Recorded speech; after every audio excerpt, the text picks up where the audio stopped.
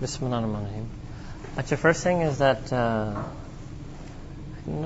son, is there some email address? Is there an email address? Email address, not website. Is there an email address? Email address. No. Acha. Chalo. Usko uh, she's not here. If I will give you an email address, if some people have questions that they don't, we don't have time or they don't feel like asking, you can email it and then we'll have somebody print it out and put it here, and then I'll deal with the questions, pertinent questions, for those who are unable to ask in person and outside, right? If there is some address, you can write it up, and then you can send the email there, and then the print it, and I will just do it here. Bismillah The next thing is blameworthy modesty blameworthy modesty, which is haya is obviously something that we should have, which is modesty and shame, but there's a type of haya blameworthy in Arabic is munkar. But there's a type of haya and shame that if a person has, it actually leads to an incorrect and undesirable conclusion. And what is that? That as for blameworthy modesty, it is that which prevents one from denouncing the condemnable or from asking a question concerning a matter relating to religion and the like. For this reason, it is considered a harmful quality as for noble modesties such as the chosen ones, yani such as Sayyidina Mustafa sallallahu alaihi wasallam, the behavior of the night he married Zainab anha when he fed his company to their full from his wedding feast, and they all left except for three. They lingered, and yet he did not request that they leave. Such modesty as a most excellent virtue. Had modesty been a person, it would have been a righteous one, and would do nothing but good in whatever it did. So modesty in our deen is known as haya. The Arabic word for this is haya, modesty or shame or shyness. Now these English words, all three of them, even combined, don't really fully convey what haya is, right? Uh, haya basically means a person has a more fancy word than this in English is comportment. That a person is well poised, is well mannered, is well controlled, has self restraint, concerns themselves with that which concerns them, right? The Prophet said in hadith, min, min husn islam al-mar'i, tarku ma la ya'nihi, that from the husn, from the beauty of the Islam of a person, is leaving that which does not concern him.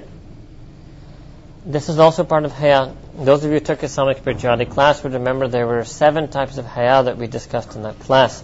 Here, very simply, is mentioning two things, blameworthy haya and commendable haya blameworthy of that which prevents someone from denouncing the condemnable. This means that basically, and we've discussed this before in class, right, that in the Quran al-Kareem and in the Hadith, there's this command of Amr, amr bil ma'ruf wa nahi al munkar, to command the good, to enjoin the good, and to forbid from the evil. Now, what this means is that actually part of our haya, uh, sometimes people feel embarrassed, I'll put this in English, embarrassed or hesitant to speak out when they see something morally wrong happening. So before we get to that, make sure you know that the conditions for being able to speak out, the Prophet said again that if you see something wrong, you should try to stop it, or you should speak out against it, or you should feel morally outraged about it in your heart. Now the conditions for being able to stop it, it doesn't mean that people should run around and start physically, violently stopping people from doing things. There are certain conditions that would enable a person to do that. Number one is that a person has is able to do so with hikmat, with wisdom. Number two is that a person is able to do so with success. It doesn't mean to force somebody. It means really, it, in, in the most, only way you can take it as forcible is a forcible reminder. That there's somebody, let's say like a really close friend of yours, who's about to do something wrong, so you will grab him, right? This is maybe if I explain to you uski sahi surat kya hai, then you will understand what is not supposed to be done. So a very close friend of yours or a younger brother of yours, somebody who is your matahat, somebody whom you have some daraj of wilayat over. It can be a close student, a child, a spouse, a sibling, somebody who you have that relationship with. You will feel with them, with them, if you feel that they're about to do something wrong, you will literally grab them. Literally, you will prevent them with your hand from going into that sin or doing that sin, right? So, to the extent that you have that relationship with someone, it doesn't mean that you do this on strangers, right?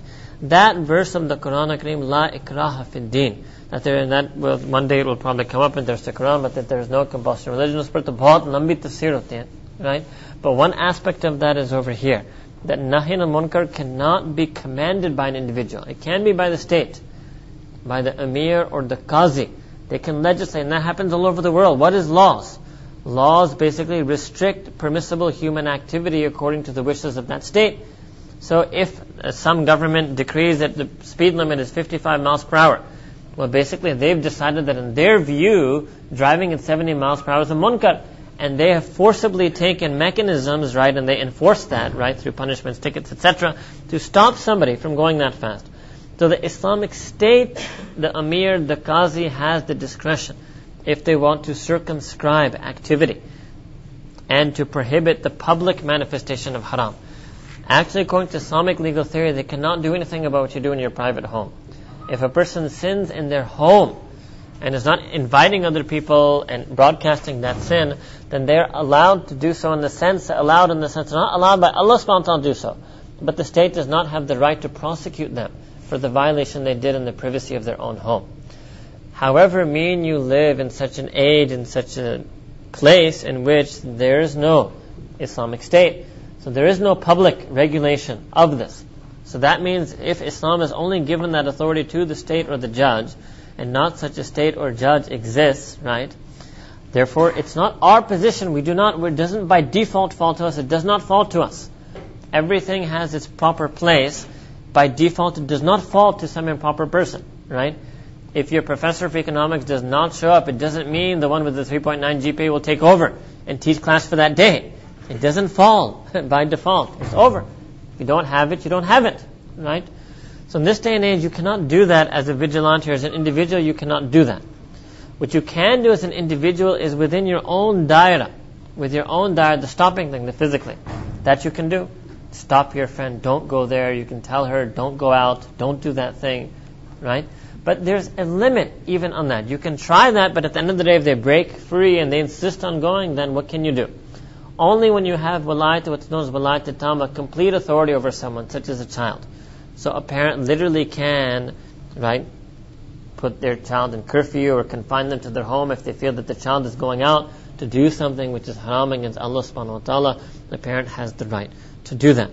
Stopping it with your tongue, that is the next level. This can be done both at the individual level and the societal level. Speaking out against something verbally is not the sole domain of the state or the emir or the qazi. An individual Muslim can't do that. So that's the first thing being mentioned here then, that the first type of blameworthy modesty, the first type of blameworthy embarrassment is we don't use that right, which we can call it freedom of speech if you want to capture or hijack the terms of the others, right?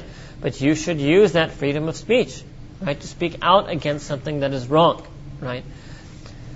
Again, that is much, much more open than stopping with a hand, but that's not unlimited either. You still have to have hikmah when you do that. You should not do that in such a way that basically it's not going to be successful. do that in such a harsh way that it will only embolden the forces of evil, will only strengthen the people who are actually spreading uh, things that are against the deen of Islam. So somebody feels high on them.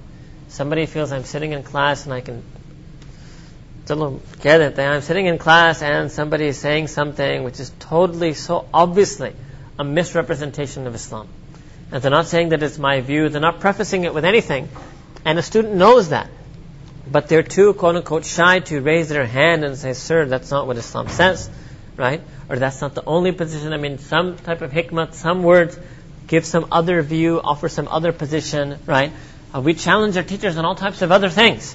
But when it comes to their misrepresentation and misportrayal of Islam, we feel shy. That is blameworthy modesty. That's not the place to be shy. Right? At that point, a person, if they have been given the right to speak, which in most classes, most professors give you the right to raise your hand and comment on what they're saying, if you have been given that right by the instructor, as long as you can raise your hand and not be disrespectful, not be rude, but bring a possible point to their attention that you have husnas and maybe they never knew that themselves. Maybe they genuinely think that this is what Islam is and perhaps if you mention to them that there's another understanding of Islam, another aspect of Islam that perhaps they don't know, they might change their position, one should do so. If one doesn't do so just out of shyness, just out of shyness, that is blameworthy modesty, that is not the type of shyness that a person should have. Okay? Similarly, if you have a friend Okay, now they're not so close to you that you feel that you can stop them physically for doing something bad. But you know they're doing something that's going to harm their spirituality. You know you can see they're about to do something that's going to harm their relationship with Allah subhanahu wa ta'ala. And you don't say anything. out of shyness or out of fear that, you know, मैं बोलूंगा तो वो मुझे मौलवी कहेंगे या मैं कह दूंगी वो मुझे मुल्लनी I don't know what the female equivalent कोई है equivalent, right? So that's not known. That type of shyness, or that fear, that's coming later, but that type of shyness is not a good shyness. You should think that my job is to give them nasiha. What I should do is think cleverly.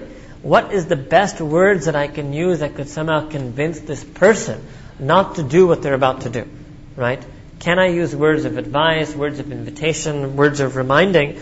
That is what a person should do. So these two, I've given you two examples then of blameworthy modesty.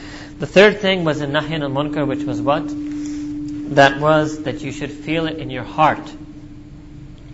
And that is also a type of shyness that literally sometimes people feel so shy that they lose their moral sensitivity internally. It's not about doing anything or not about saying anything. What is the example of that? Normally the example I give you people of that is TV. And lots of people wonder that, oh, is it okay to watch TV or movies? Well, I don't watch X-rated TV or movies, so it should be okay. But what happens even when you watch a totally PG program, when you watch a sitcom, and you, those of you who've heard me say this before, you know my favorite example, is Friends.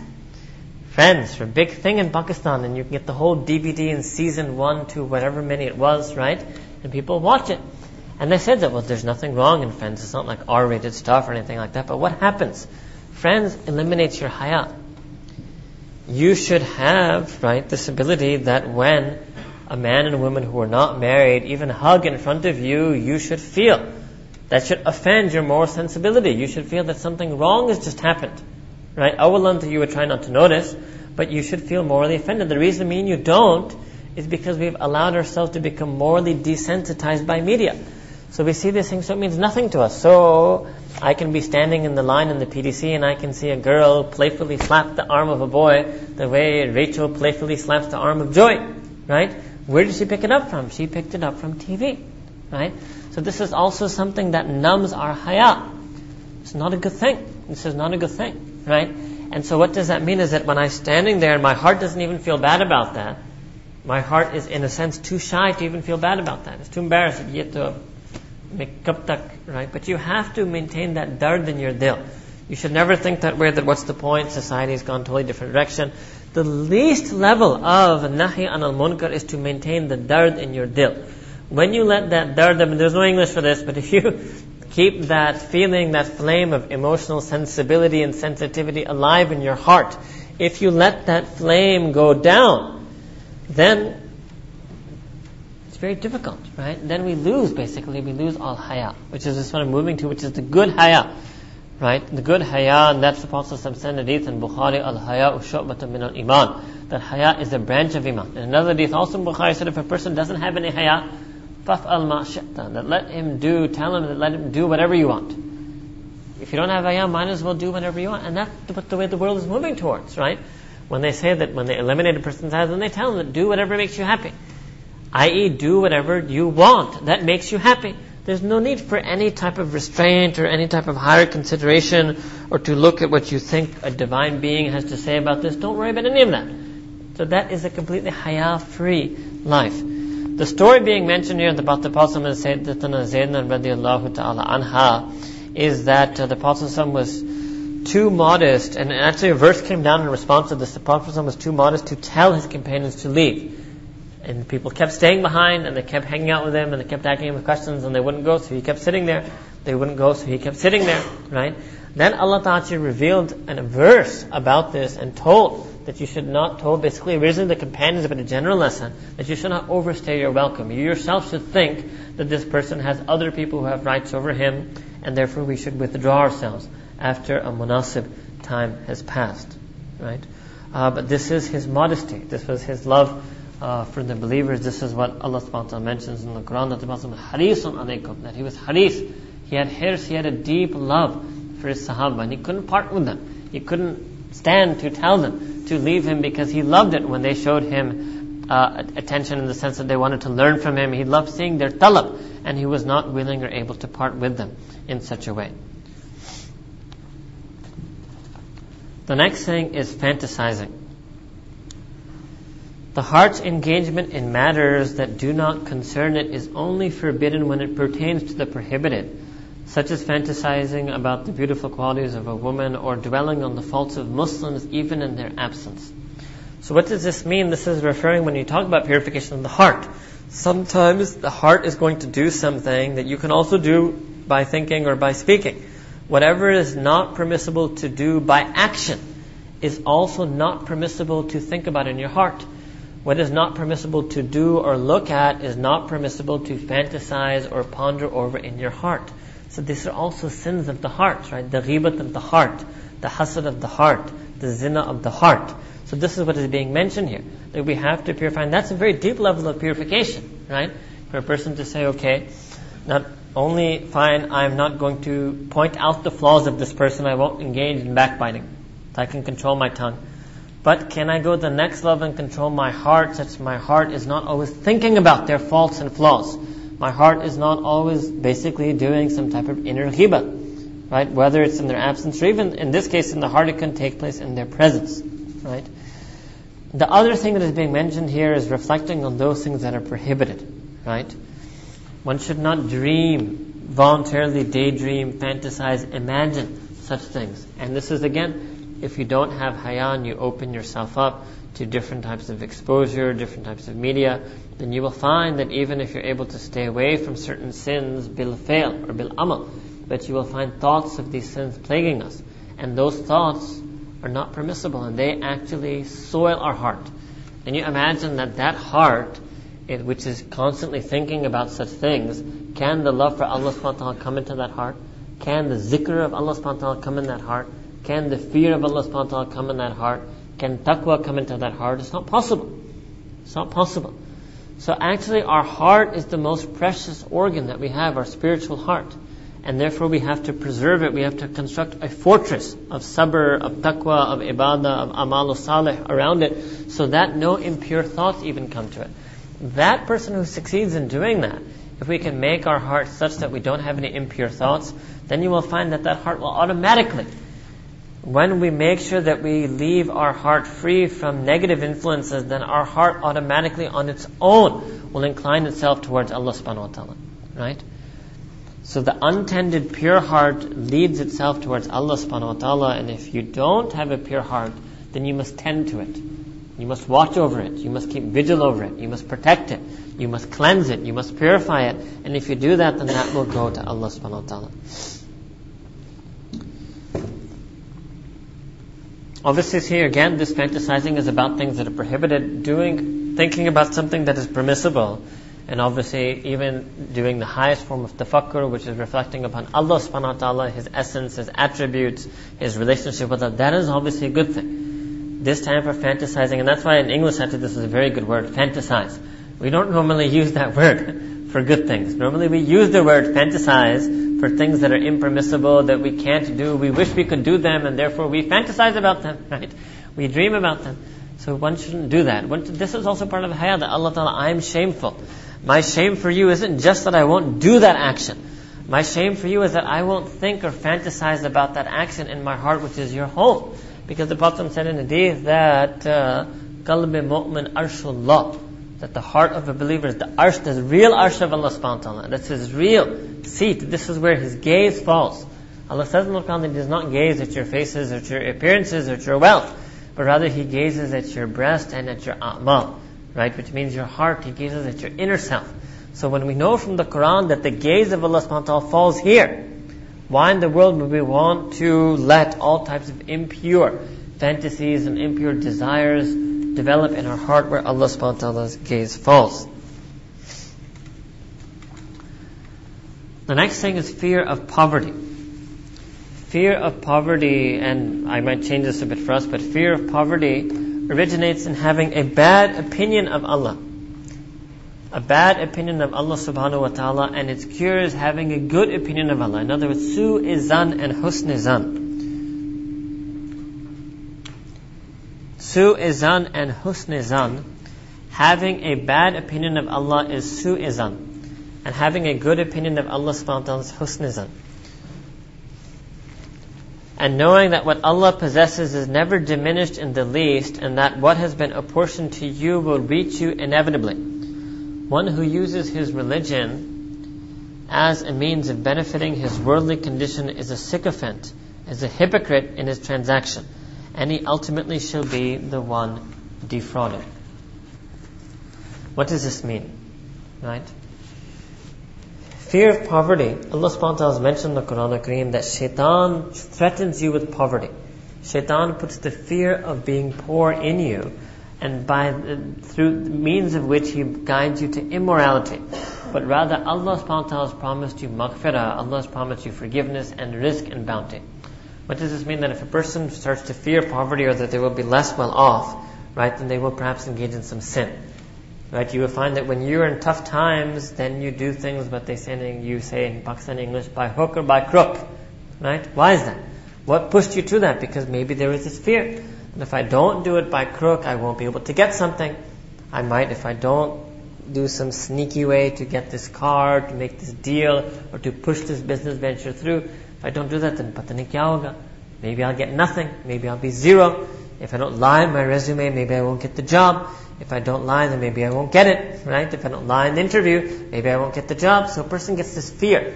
So in this case, right, in extreme cases, fear of poverty, fear of failure, fear of not succeeding in a worldly sense, fear of lack of worldly success, or worldly achievement, or worldly accomplishment can make a person do things that are sinful.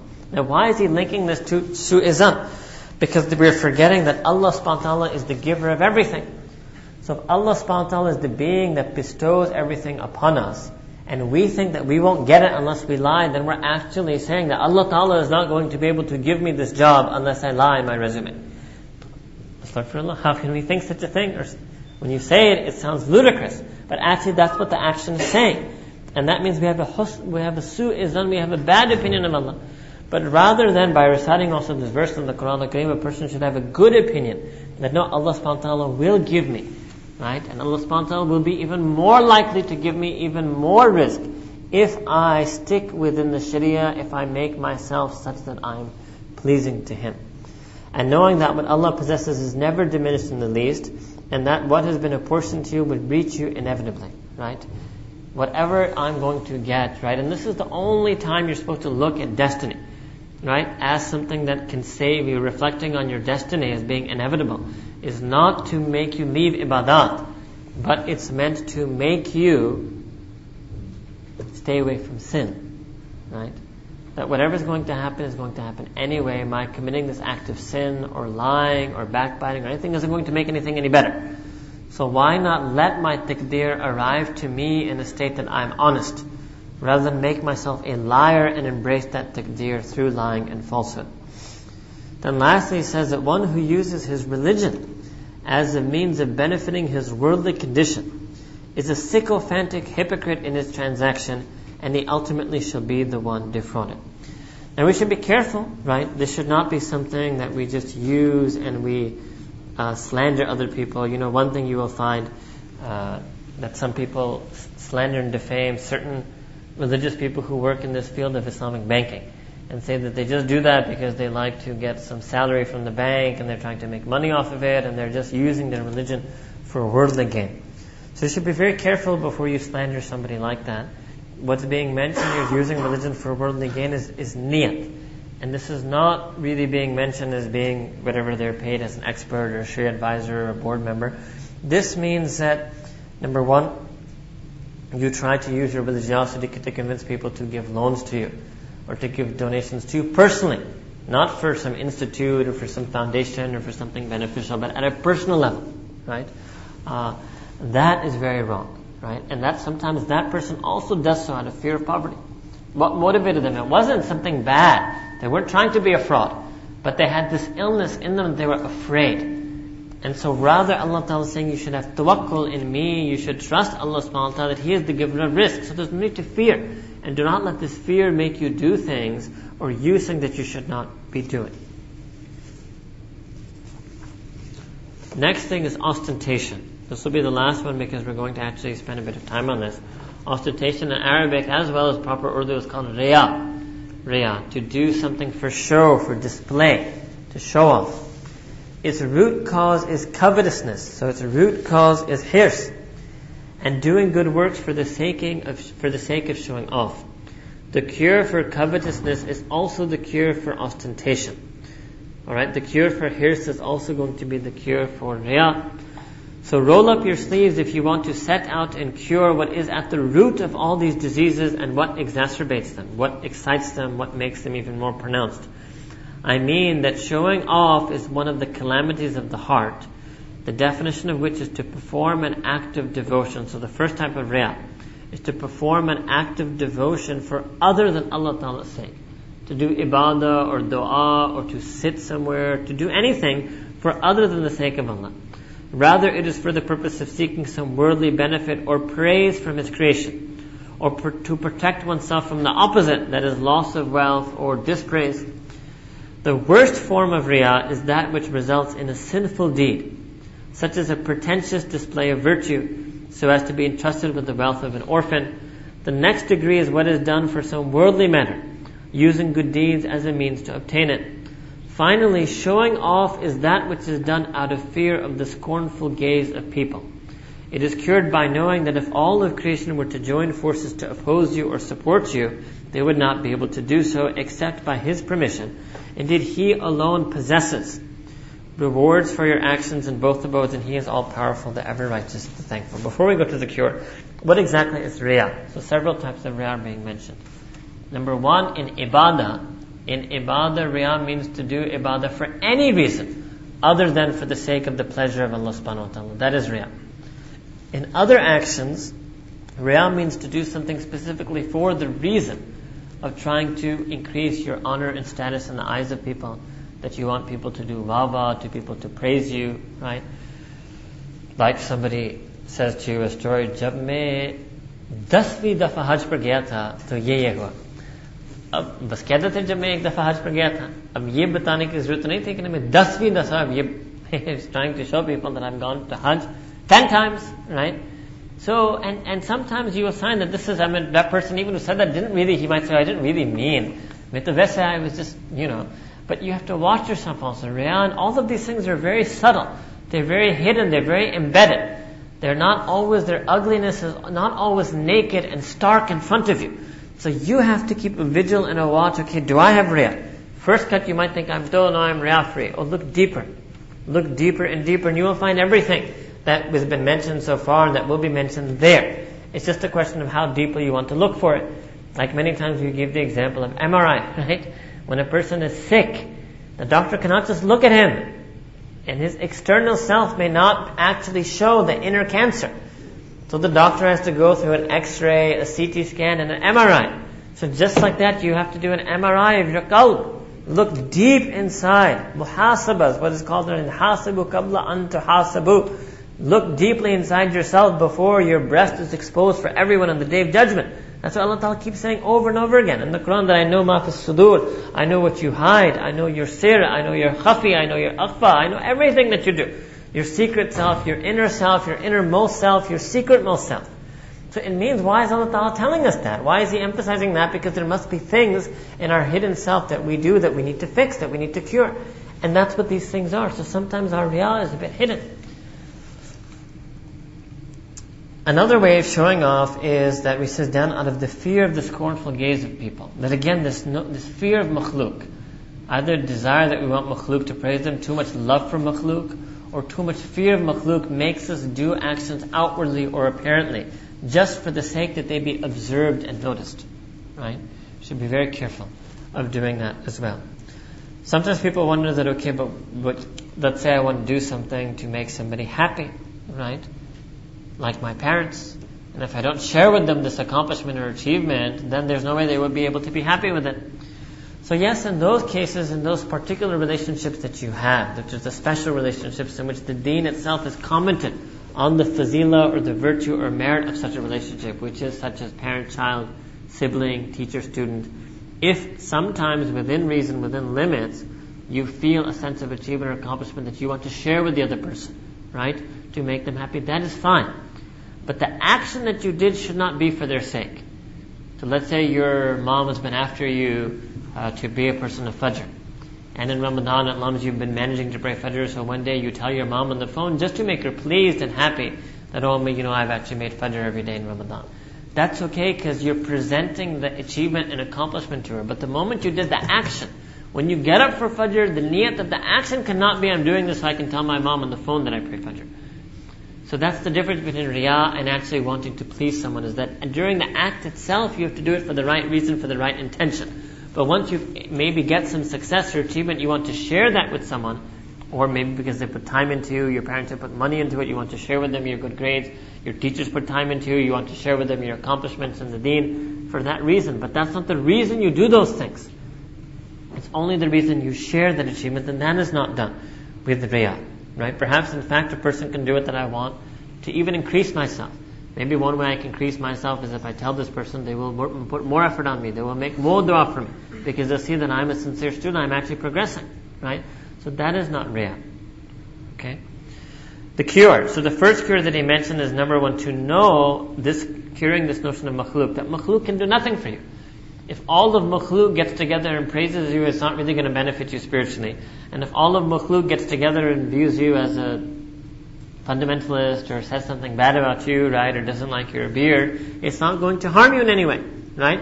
So the makhluk are not able to help you or harm you. It's Allah subhanahu wa ta'ala alone who has the ability to reward us and to be pleased with us. And as if we look at, okay, I don't want X, I want X to be pleased with me or I don't want Y to be displeased with me. So we should really want is Allah to be pleased with me. If you really want to say whose pleasure should you really be after, it should be Allah's pleasure. And whose displeasure should really make you scared really make you terrified is Allah's displeasure.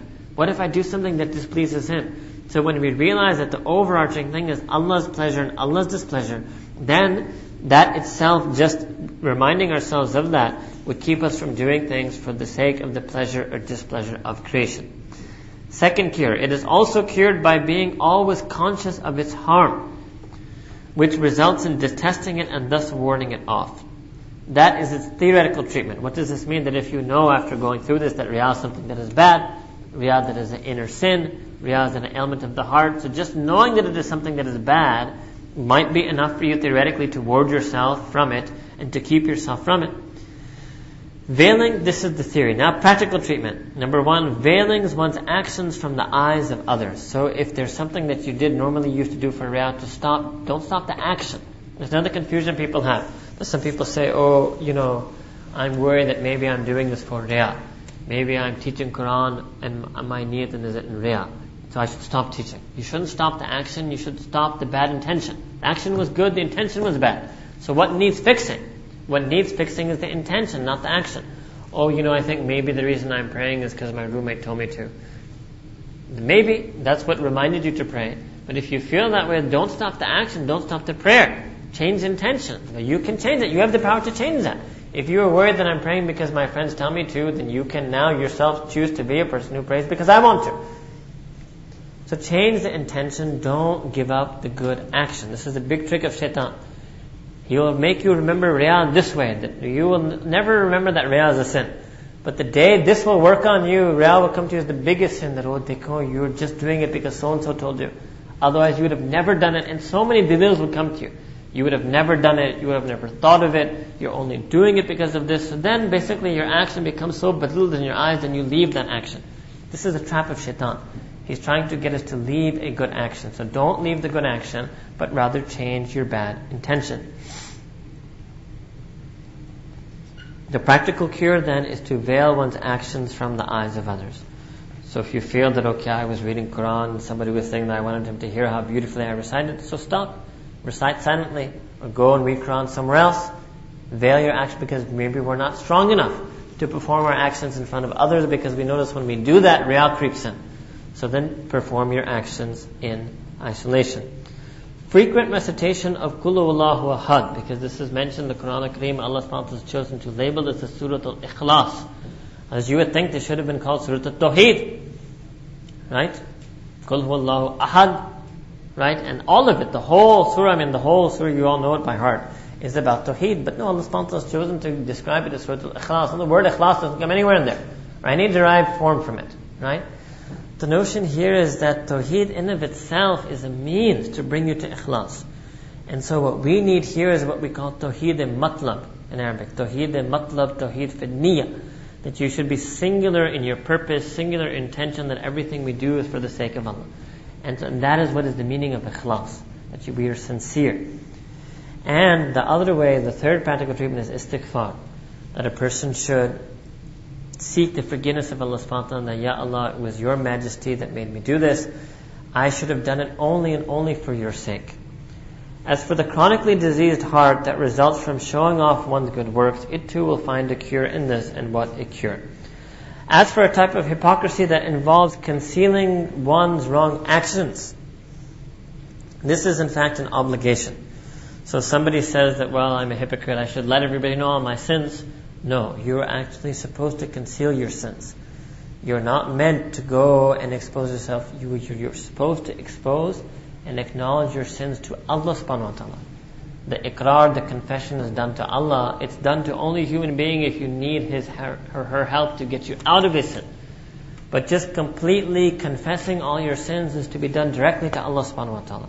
Not to other people. And as far as other people go, we should actually confess, or we should actually conceal our sins. It's not adab to openly, unabashedly tell people of the sins that you do or the sins that you did and telling them that random people is not any form of expiation in our deen. Confessing all of that to Allah subhanahu wa ta'ala and repenting is something. Telling somebody to understand why is it that I do this sin, how can you get me out of this sin, that is also fun. But just randomly telling people is not a good thing. As for what relates to the permissible, adorning oneself with it falls between recommended and prohibited. Okay? Those things that are permissible, a person can show those things that are permissible. So you show the ni'mat, the bounties, the blessings Allah has given you, right? For the seeker of knowledge or someone desiring to show the blessings of wealth, it is recommended. Okay? It is recommended for somebody who wishes to share the blessings or show the blessings out of humility. That won't be called riyah. Right? So if Allah Ta'ala has given you some wealth, and we did this before we did love for the world, and due to that you choose that, okay, let me make myself some clothes that make me well presentable and well kept, and therefore I give the sunnah a good, noble presentation. That is okay, that's not riyah. In other words, however, you are doing an action for the sake of makhluk. That's what I'm trying to explain here. Doing an action for the sake of makhluk can be permissible. An example of that is this, right? That I'm going to do something to make myself look more presentable or make myself more whatever, right? For the sake of others. I'm doing it purely for the sake of others. I'm looking in the mirror and combing my hair for the sake of others. I can't see my hair, right? That is okay. That is permissible and sometimes it can be recommended. Including in this is somebody visiting a fellow Muslim for the sake of Allah subhanahu wa ta'ala. Right? That obviously is doing something for the sake of makhluk. That is recommended. Not just permissible, that is recommended. Or any other well-intended deed for that matter. Unless you desire haughtiness or boastful competition. So if you go and visit that person for your, to out of haughtiness, out of arrogance, uh, to boast about it later. That, oh, I went and I saw these three people today, or I did this. So you should be very careful. One should not boast. One should hide these things. It's not considered proper other than our deen to boast. An example of this is giving zakat. Allah subhanahu wa ta'ala has mentioned in the Quran Kareem that you should give zakat secretly and openly. The asl is to give it secretly. That is the tertib. The only reason you should give it openly is if you feel that by doing so, by giving it openly, perhaps somebody might receive a dawah or might feel that, okay, if this person can do it, so can I. If this person can get up and do something for a few days of his life, then maybe I can too, right? So for that it's possible, but you have to watch your heart. If in your heart you feel that there's some boastful element there, then you have to view yourself that I'm a sick person. It's unfortunate if I was healthy and I could be free of riyah, I could do this openly to benefit other people, but unfortunately I'm sick. And therefore I have to work on myself because I cannot benefit others to the harm of myself. So if I allow myself to do things that let myself fall into riyah, I have to stop it. I have to cure myself. Once I'm cured, then I can go back and try to do that in a productive way. Scholars are of two opinions about seeking some benefit in this life through worship, as opposed to seeking only the hereafter or even seeking the hereafter, to, or, to, or, uh, seeking the hereafter or seeking its delights. Is it sincerity or is it showing off? Right? Famous example of this that came up in the classical Muslim period is in the beginning, the person who was the imam in the masjid. This was not a paid position. This was whoever was in the community, people would go, and amongst them, who was the most senior, most would normally lead. And within any small community, it was pretty much well understood and well agreed upon who was the most pious, learned, etc. person, and after him who was the second who was the third. As the Muslim Ummah spread, number one, and as unfortunately distance from Allah spread, and you had less perhaps people, right, who were learned, less people who were practicing, then the very first time this issue came up, that can you set a stipend? That's how they viewed it. Also the way you phrase things. Can you set up a stipend for somebody to teach hadith, or to teach Quran, or to become imam in the masjid? And if you do, then what is that person doing? I mean, how that person, because the people themselves also said that, look, we don't want to take a stipend, because then I'll feel like I'm coming and I'm doing Jummah as a job.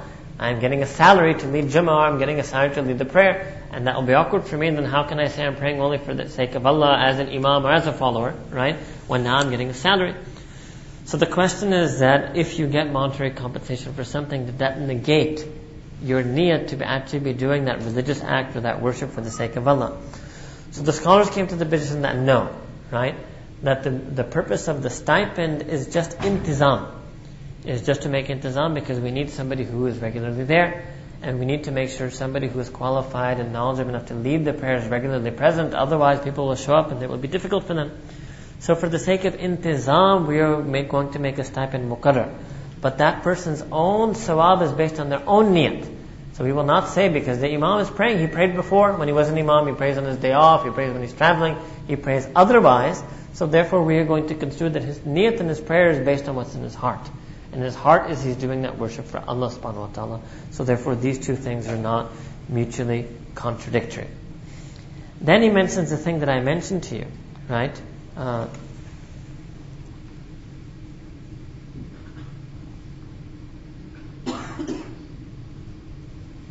Some also consider that merely, one more thing, some also consider that merely taking delight in people's awareness of one's actions is showing off. Though Imam Malik did not consider that harmful as long as the original intention was based on the foundation of sincerity. So the notion here is sometimes a person's intention changes. They start something with the intention to just do that for the sake of Allah subhanahu wa ta'ala. While they're doing it, right, this extra identity comes upon them that now they're a doer of that deed. So before they began qiraat for the sake of Allah, duran qiraat they realized that now I'm a qari.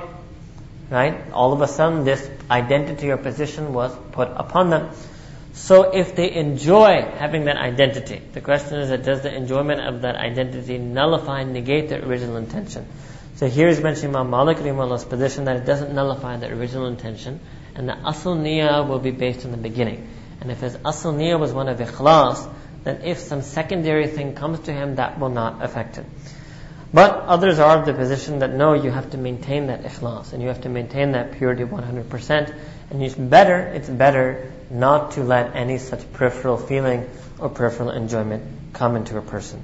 Next thing is, in fact, deeds that are done while showing off are better. This is what I mentioned. Deeds, actions, a'malu salih that are done with riyah are better than abandoning those amal entirely due to the fear of riyah. So it's better to do a naqis amal than to lose the amal entirely. It's better to do an action that has a defect in it. And one reason for that is actually if you give up the action, it's a cop out. It's easy way out. What's harder is to try to fix the defect. So you actually haven't cured yourself. You just stopped the action. That's not a cure for riyah. Cure means that you will only be cured when you can do the action and not feel the ostentation. That is when you will be cured. So in order to do that, you must keep doing the action and you must keep doing it and keep working on the riyah, right? And then one day, inshallah, that will be fixed. Similarly, the scholars have preferred the zikr of Allah subhanahu wa ta'ala on the tongue with a ghafil qalb over a ghafil qalb and heart combined. So somebody says, what's the point of me reciting istighfar a hundred times a day? I do it in ghaflat. I don't do it thinkingly. I don't do it penitently. So that's why I don't do it.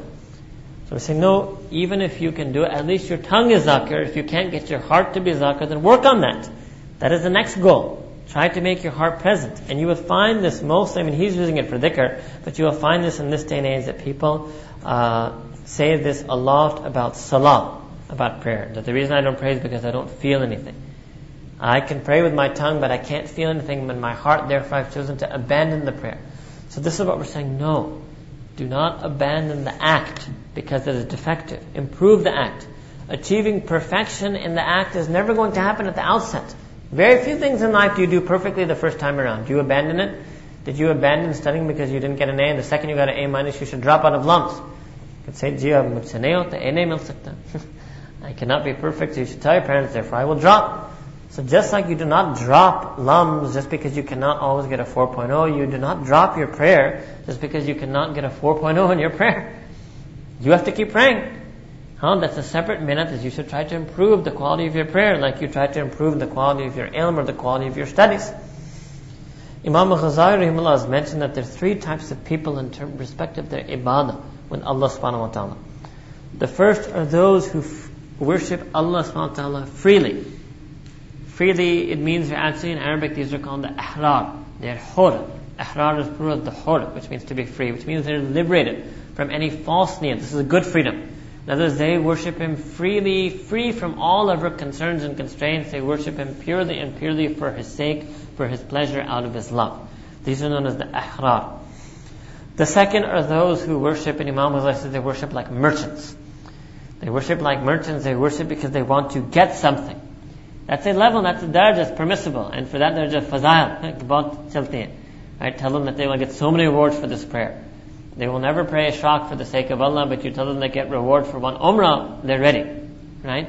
So he's, Imam Ghazali is saying that it's not impermissible, but it's not the highest level. They worship Allah Ta'ala like merchants, looking for the sawab.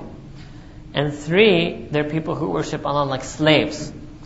And they're the people who are not worshipping Allah purely for His sake or out of His love or out of His remembrance, nor are they worshipping Him for the sawab. And this third level is also permissible. And if you, even if you bring yourself to the third level, that's a big thing. They worship Allah like slaves who do so, and He's using slaves out of the fear of the whip. In other words, out of the fear of hellfire, out of the fear of punishment, they worship Allah. This is a minimal level. You could only discard, let me make this clear, you could only discard the minimal level for a higher level. You cannot discard the minimal level because it's a lower level. You can only give up the C for a B. You cannot give up the C mutlaqan. If anybody feels that, yeah, that's me, I only worship because I'm afraid, I only worship because I think if I don't pray, who knows what will happen to me. And yes, that's not ideal, but you cannot give up that prayer. You have to work towards a better reason. Work towards the level of seeking the ajr. Work towards the level of seeking the pleasure of Allah subhanahu wa. So this is true for any single thing that we do in our deen. If we're doing anything at the minimal level, and we start chastising ourselves that look, it's so low quality. Fine. Good that you notice that it's low quality. Good that you chastise yourself. But do not abandon it except that you can abandon it successfully for something of a better quality. That's what we do. If you don't have, you have whatever maybe not such refined food to eat, you won't give it up for famine. You won't die of hunger. You'll eat it. the only way you will ever give it up is if you have something better to eat. So just like that, you don't want to give yourself up to spiritual famine. That look, the quality of my amal are not good. I don't have istiqamat. I'm not regular. I'm not good. I don't feel anything, etc., etc. Fine. Keep working on yourself. But do not abandon what little you had, what meager portions you had. If you do that, then you will fall into spiritual famine. You might not feel that hunger, like you feel, unfortunately, we are more tuned into our stomachs than we are tuned into our qalb. Therefore, you will never let, there's none of you who have that strength, that himma to voluntarily starve to death. None of you have it. I don't have it. No way. You would give in and you'd start eating. No matter what it is, I'd give you scraps, I'd give you dog food, you would eat it maybe not after a day, but kahin din guzar jaye, eat it that, right? But just look at ourselves like that, we should feel the famine of our hearts. Our hearts are thirsty. Our hearts are starved for ibadah. Even if we're able to feed them our few scraps of our naqis ibadah, which are done without concentration, without love, at least that's keeping our heart alive. If you close that, agar wo band kar do, if you don't give those heart, your spiritual heart, even those scraps of ibadah, then your heart will die. And if you let your heart die, it's very difficult to revive it from the death. It's a miracle. You over yourself say, bringing the dead back to life, that's what you call a miracle. That's the ultimate miracle. Right? So don't try to be, put yourself in a situation where you need to become a miracle worker. That we become so distant from Allah subhanahu wa ta'ala, we allowed ourselves to die. Then Allah, it's going to take a miracle to bring you out. 99% that only can be Allah subhanahu wa ta'ala Himself. Out of His mercy, His He chooses to blast you with hidayah. Again, it happens. Sometimes we see men like that. That literally they put themselves to the brink and Allah Ta'ala yanks them back. Then they put themselves to the brink again, and Allah Ta'ala yanks them back. Allah how long will this go on? They should think themselves that how long do, do we want to test that limit? One day maybe we'll be able to fall off. There will be nothing. Bakr Saab. There will be nothing to bring us back. Why do we always push the limits? Right?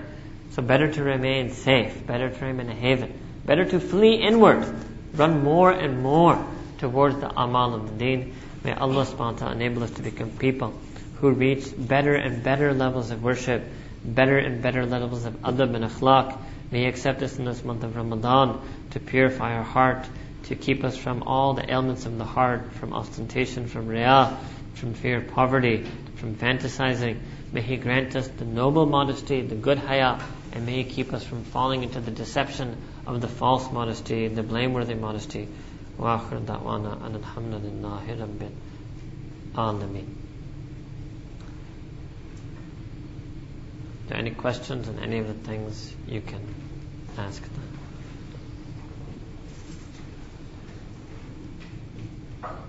Yes, yes.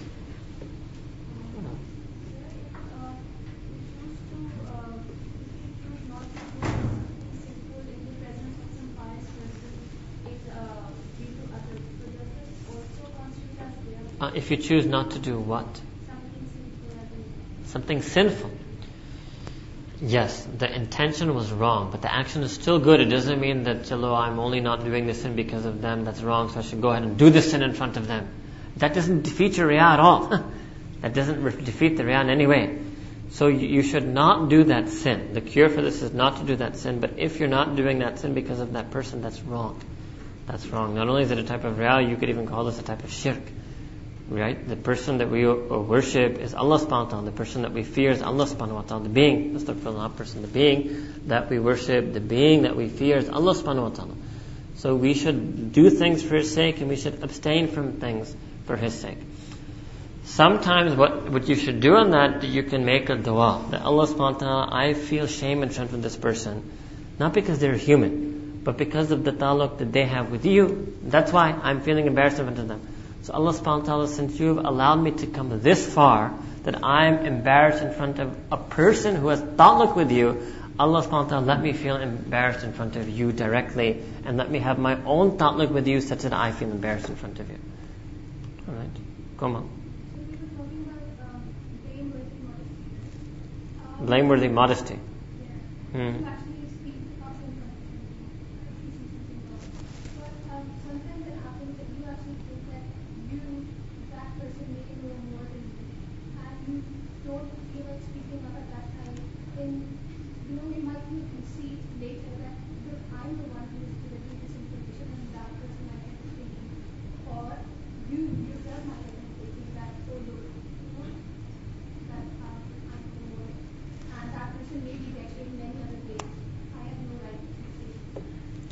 Take it, there's several ways to look at this. Number one is that if it's something you're genuinely unsure about, so in that case, maybe you might want to be silent. But if there's something that's crystal clear, you know without a doubt from our deen that that is something that is not correct. Right? There's no doubt in your mind about that. Uh, there's no difference of opinion on that issue. Right? In that case, then let's move to your example. But you think that there are other ways that this person might be better than you or more knowledgeable than you. So then you, the, the, you can be extent that perhaps directly speaking to them might not help, but you should still try to find some way to subtly or anonymously or through some ishara bring that to their attention if possible in a way that may not w- would not look that you're trying to disparage the other good things that there are about them. And per- perhaps you could even use that and tell that person that you know you're so much better than me in so many ways, uh, and it's not that I'm in any way trying to disparage you, however, X, Y, Z. So you can mention that. Uh, but yes, I mean, the hikmah is that you have to speak to a person to the extent that you think that you will be able to successfully communicate to that person, right? Um, without hurting them or offending them or pushing them in the other direction. Because sometimes people become too overzealous in this, and by actually trying to enjoin the good, they actually end up pushing a person completely the other direction. Or by forbidding the evil, they push the person in the other direction. You have to be careful for that as well. But as long as your niyat is sound and you make dua to Allah subhanahu before you do it, inshallah then the barakah of Allah subhanahu wa ta'ala's mother, the Nusrat, would save any such bad result or consequence from happening. Ji. Three hmm. levels that you mentioned, that, uh, one those, one of those that pray for these things, Allah. Hmm. Next level that they pray for Sawab, third Hmm. they pray for, for benediction from Allah. So if, if someone is in a dilemma that three things come at the same time, And that's the highest level. You should have all three. Each level subsumes the lower one. So maybe you can rephrase the first level they pray for the fear of the whip alone. Second is that they pray for the sawab alone, right? Third level is they pray for all three. There might be some people are of the position that the fourth level is higher, which is to pray for the sake of Allah alone. Possible, possible that you do something only and only for the sake of pleasing Allah subhanahu wa ta'ala out of the love for Allah could be even the ultimate highest one, right? But most of us will combine that. That's something, maybe I'll explain to you this way. That ultimate state, that is not something you can acquire. That is something that is bestowed upon somebody by Allah. We are in the job of acquiring those states that the Quran and Sunnah tell us to acquire. And in the Quran, Allah subhanahu wa ta'ala has many things about fear. He Himself is making us afraid, is making us fearful of punishment and of the hell. So we want to acquire that fear that He wants us to have. That's part of our ubudiyah. Secondly, He is also enticing us with reward and glad tidings. So He wants us to be enticed. So it is our ubudiyah, our servanthood, that we should be so enticed. And thirdly, He also mentions in the Quran His love and doing things for His sake and that ikhlas. So we should also have that. So in terms of acquisition, you should try to acquire all three. After that, Allah subhanahu Himself may make that last one a ghalib on you to such an extent that as far as you're concerned, the predominant reason you do things is out of His love. But that's, He will do that to you. Your job is to get all three, because all three are there and all three are part of our deen. Bakr. Uh, about the use of force in Islam. Uh, sir, uh, is this notion that uh, a person can be killed uh, if they don't pray, and the different, uh, different schools of thought have different position. Uh, there are different positions on this. The most strict position on this is that of Imam Ahmad bin Hanbal, rahimahullah, because he takes the hadith of the Prophet "Man taraka salatan muta'ammidan faqad kafar." That that person who deliberately leaves the salah becomes an unbeliever. So he would process that person as a murtad. He will say that that person has become an apostate. Now, according to him, then that person should be called in and he should be counseled, right? And it's up to the Amir and Qazi how long they want that counseling to take place, which is that person should be, they should try to bring them back to Islam. Imam Ahmad's position is though if after a certain time period, I mean whatever, so much time expires in which you think, uh, or whatever the Amir or Qazi or whoever is doing the counseling thinks that this person is just stubborn and will never recant their apostasy, uh, he is of the position that that person should be killed. But that is a minority position in Islam. The majority of Sunni jurists did not feel that this was a reason to kill someone because they don't take that hadith literally.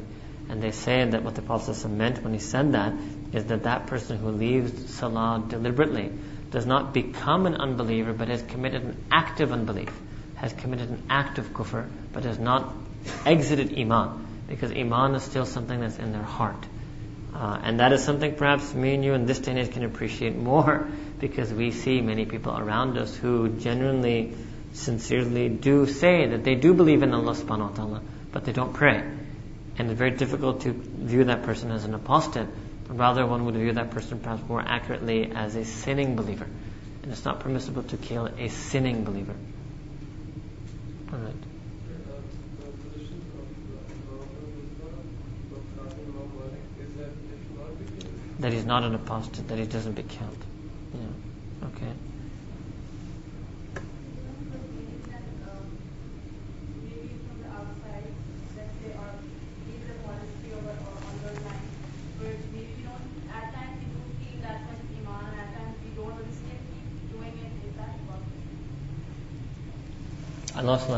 parts, and we do feel very strongly about it, and we feel very nice about it, but at times we do At times you don't feel what? Good about it. Like at times, for example, maybe a girl feels bad, embarrassed about her job, or you know, no. That's not um, about, about salah. Let's, let's take example about salah. Like what we were doing example. If we, we might be praying five times a day, but not in each prayer we might not feel the same love or might not. I'll take feel it, the take same, it. uh, Okay, okay, Just like that, there's so many other good deeds. Okay, we might okay, not abandon okay. them. right. We're still doing it, but however, we're not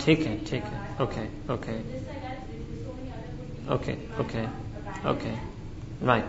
doing it in fashion. We Right. have to walk the same. That's no. Hypo- okay, that's a particular state that a person has, that they sometimes do ibadat unfeelingly. It's hypocrisy only if a person is content with staying at that state. If a person, no, no, no, you can keep praying that way, you might remain on that state, that's not hypocrisy. But if your heart is content with remaining on that state, that you say, well, take it, no problem. It's okay if we have three namazes per day, maybe feeling, let's say, the connection. In two namaz, we're not, we're still praying that Allah Ta'ala please give us that connection. Is that okay? Uh, yes, that's okay. That's okay, and that's not just okay. That's very commendable that a person. And first of all, it's obligatory that you maintain all five prayers. Secondly, it is commendable that those two in which a person is not feeling something, that they should strive and try to do anything and everything in which they can feel it, and that they should also make dua to Allah. They should never be content. They should never give up. Right? As long as they're trying, they may be able to try more some days, maybe too busy and try less other days. But as long as, at the very least, it's their talab, it's their heart's desire that they want to make all five out of five feeling prayers, that their heart never becomes content with three out of five, then they don't fall into nifaq. Alright, so we'll stop here because of Asr. I'll just make two announcements. One is related to your question. On Saturday at 3 o'clock, we're actually going to do a workshop exactly on this, which is called Perfecting Your Prayer. Since, Alhamdulillah, Ramadan is a month of worship, uh, and I think for everybody, our quantity of ibadah has gone up. So why not use the barakah of this month to try to increase the quality of our ibadah? And that will specifically give very, very specific methods to try to improve the quality of our prayer.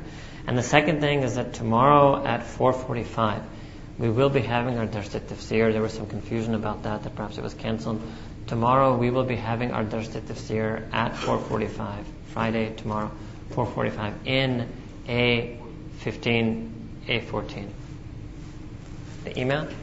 Uh, if any of the girls have questions that they didn't feel like asking, uh, they can email uh, Sana and she'll print it out and give it to me and I'll answer it next time we come.